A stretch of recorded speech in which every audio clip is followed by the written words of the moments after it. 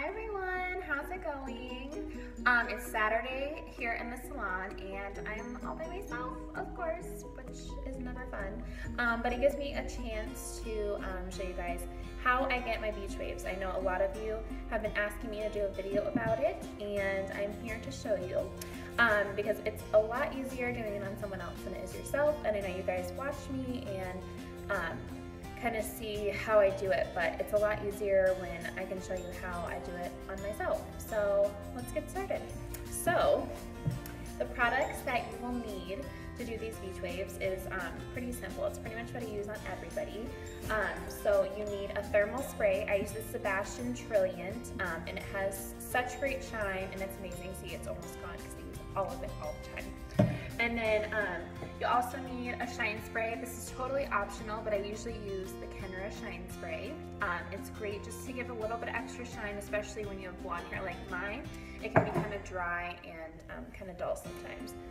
And then you can also use um, the Kenra texturing taffy. It smells amazing, and I know a lot of you love it. It smells like bananas, and it's literally my favorite because it is bananas. But it's amazing and it's just kind of something to, um, so you can move around with your beach waves and not have it be um, so tight or anything. And then also I use the IGK Beach Club and it gives you a little bit of volume up in your roots and it's really nice to have.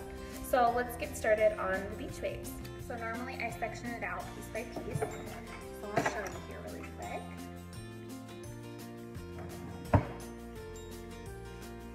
I do have clip-in extensions in. Um, they are the Bombshell extensions and they're amazing if any of you want to know. And then this is the Baby Bliss um, one inch curler and it does have a clamp on it. Um, you can use a wand also, but I kind of like to have a clamp for support. So, I'll show you how I do this. So you're gonna wanna start up here, clamp down, twist, Leave it there for just only a second. And then you're gonna twist around and pretty much drain the whole thing down this way. And I always leave a little bit out, about an inch out of the bottom. And then you wanna let it sit for a little bit, let it cool down, because then it'll stay a little bit better also.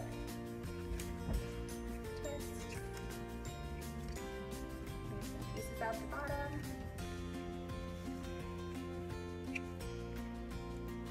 And when you're done and you let it settle, you kind of need to brush it out just a little bit.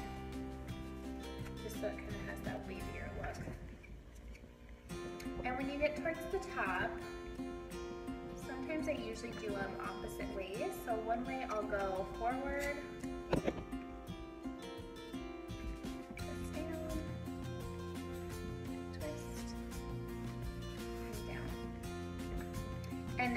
go around towards my face, I never like to have it going forward because it just makes my face look bigger. My face is already round enough so I don't need to look bigger. So we're gonna move away from my face. And you can pull it up as much as you want on the top. And. And then with these front pieces, I usually have like down the middle or kind of off center. I like to do it a little looser in the front.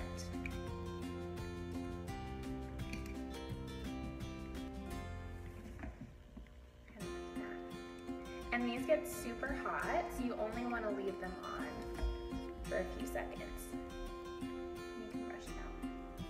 Okay, I'm going to speed up the video so you guys can just sit back and watch.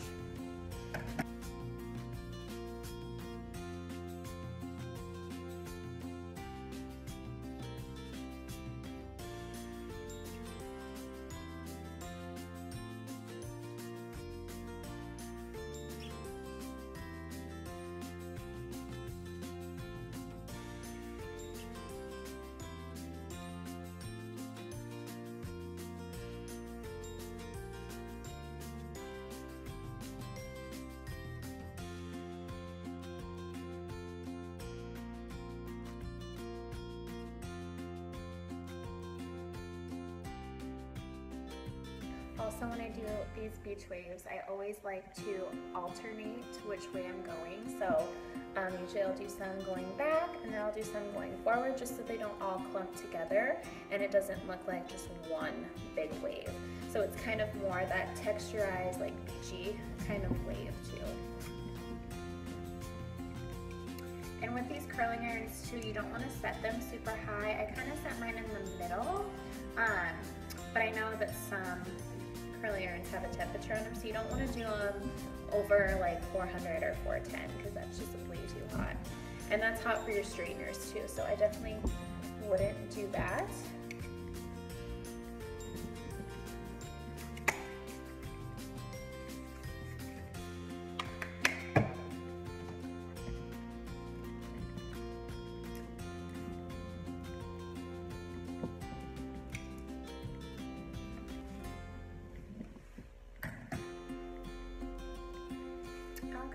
So it looks like I'm all done weaving. So I'm gonna show you guys how I use this texture taffy. And this is pretty much just like a paste, but it's kind of a creamy texture and it's purple, so it's really pretty and shiny. So what I usually do is I just take a little bit, about that much, just a finger, rub it in my hands and my palm, and I kind of start my way up the top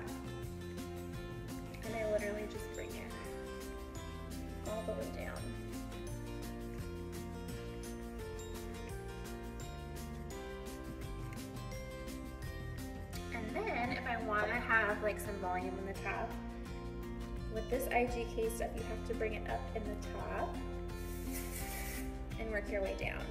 And also um, a lot goes, or a little bit goes a long way. You don't want to spray too much because then you kind of feel like you're suffocating and that's not fun. And then we're going to use the shine spray and you can use this all over.